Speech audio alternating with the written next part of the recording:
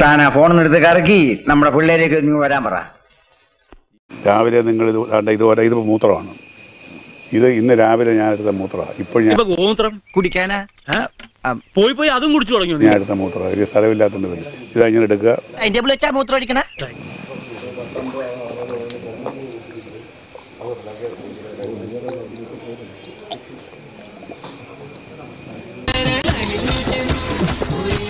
എന്തോടാ ഇതിന് ഉപ്പ് രസം? അതവന്റെ കണ്ണീരിന്റെ നീ പോടാ.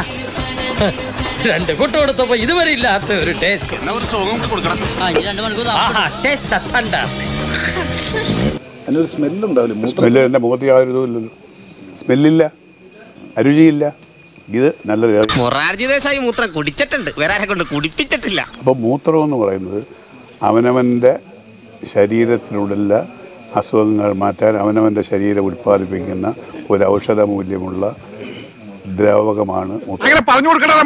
രാവിലെ എഴുന്നേറ്റാൽ മൂത്രം വൈകിട്ട് എഴുന്നേറ്റാൽ മൂത്രം ഉച്ചയ്ക്ക് മൂത്രം ഇരുപത്തിനാല് മണിക്കൂർ ഞങ്ങൾ മൂത്രം കഴിയും ഇതിനും വേണ്ടി തനിക്ക് മാത്രം മൂത്രം എവിടെ ഇരിക്കും ഞാൻ കൊന്നില്ലല്ലോ ഒരു സാധനം കേട്ടിട്ടുണ്ട്. യൂറിൻ തെറാപ്പിയുടെ ബ്രാൻഡ് അംബാസഡറാണ് താങ്കൾ എന്നാണ് പറയുന്നത്. ഏറെക്കുറെ. പിന്നെ നീ ഇത് ആരോടും പറയുന്നു വേണ്ട കേട്ടോ. ഈ നാട്ടുകാർ പട്ടികളാരും വിശ്വസിക്കാൻ പോലുള്ള താങ്കളുടെ ക്യാൻസർ മാറ്റിയത് പോലും സ്വന്തം മൂത്രം കുടിച്ചാണ് ക്യാൻസർ മാറിയെന്ന ഒരു പൊതുവെ ഒരു ശ്രുതിയുണ്ട്. എനിക്ക് ഭ്രാന്തില്ലെന്ന് മറ്റുള്ളവരെ ബോധ്യപ്പെടുത്താനും സ്വയം തെളിയിക്കാനുമാണ് ഇത്രയും പറഞ്ഞത്. പോട്ടെ കേട്ടാ. വീട്ടുകളാ. കയ്യിരിക്കുന്ന മൂത്രമാണ്. അല്ല ക്യാൻസർ മാറിയത് മൂത്രം കുടിച്ചിട്ടൊന്നുമല്ല. ക്യാൻസർ മാറിയത് ചികിത്സ കൊണ്ടാണ്.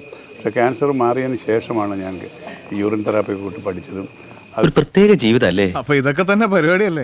വെറുതെ മനുഷ്യനെ ഭ്രാന്താക്കാൻ. എന്നാ വിട് സാറേ കാണാം. ഞാൻ അങ്ങോട്ട് ഇറങ്ങുവാ. അതാ നല്ലത്. ഒരു ചുവന്ന സ്വിച്ച് കാണുന്നുണ്ടോ? കാണുന്നുണ്ട് കാണുന്നുണ്ട്.